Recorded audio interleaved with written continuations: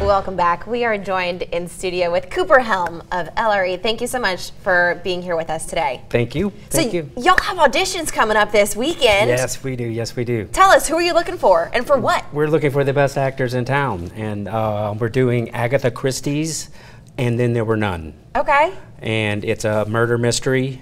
Uh, Agatha Christie, as you know, is the quintessential uh, mother of murder mystery Yeah. horror genre.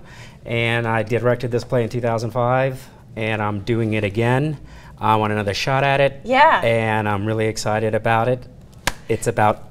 Go ahead. Yeah, go ahead, Okay, go. well, it's about um, eight strangers who get a note and or letter, and they are invited to an island, and then they all get there, Yeah. and they're mixing and mingling and everything like that. Then a voice comes on, and then accuses each person of a uh, a ghastly deed Oh. that they've done. Yeah. And it's all involved in murder.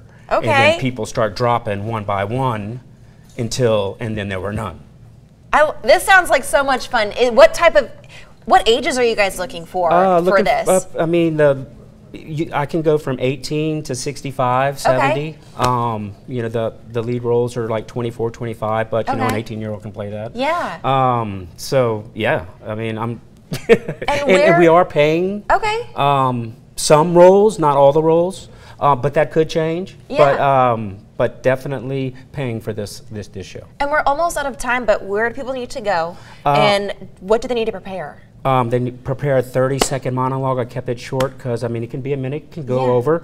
Um, it's going to be a Cité des Arts, Okay. and it's going to be Sunday night and Monday night from 6 to 8 p.m. Nice. And where can people go to learn more about? Um, they can go to my website lretheater.com, or they can go to Facebook, or they can go to Instagram, and they can go to Twitter as well. we'll post everything too on our website, klaf.com. Stay with us. We'll be right back after this.